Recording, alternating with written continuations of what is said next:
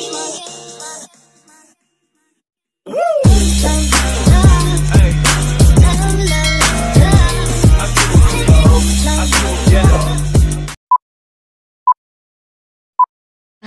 hello po sa inyong lahat. Ang video po ito ay tungkol po sa yung mangyari sa iyo pag ah, ikaw po ay nakagawa ng kasalanan po dito sa KSA.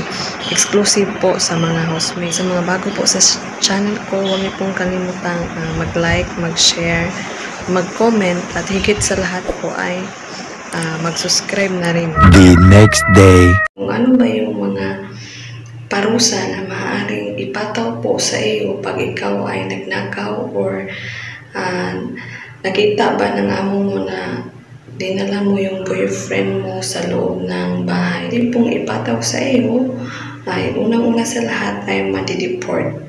Deportation. Kung napadeport naman, agad-agad uwi ka ng Pilipinas pero hindi ka na pwedeng bumalik ah, dito sa Saudi Arabia. Ban for Saudi Arabia ka na. Pangalawa is pwede kang malatigo.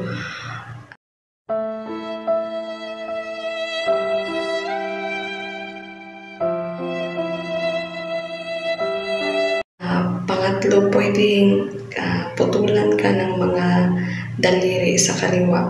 Pero yung sa daliri, guys, ah, depende po siya sa kung gaano ba kadami or gaano ba, ah, magkano pa yung halaga ng mga ninakaw mo mga gamit. Ah, may mga equivalent po siya. Ah, pwede rin na yung dalawang kamay mo sa kanan at saka sa kaliwa ang putulin, pati yung paa mo. The next day.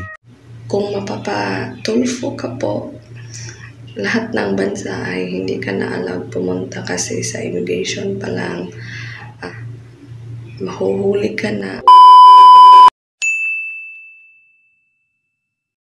Huwag mamihasa kasi magdidepende po sa mga amo natin kung halimbawa papauwiin ka ba, ah, ipapadeport ka ba at papauwiin ka ba agad-agad? Or gagawin mo na sa iyo yung mga ah, sinabi ko na parusa bago ka ma-deport.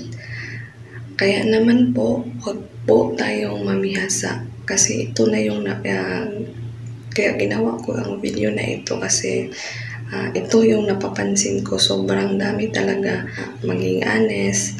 Kung may asawa ka na na tao wag na pong maghanap ng iba dito sa ano sa Saudi Arabia kasi guys ang Saudi Arabia ay hindi po dating site kung gusto mo po nang magkaroon ng boyfriend o panahon para sa mga katulad ko na single na wala pa pong boyfriend ah, may tamang panahon para dyan at uwi ka muna ng Pilipinas.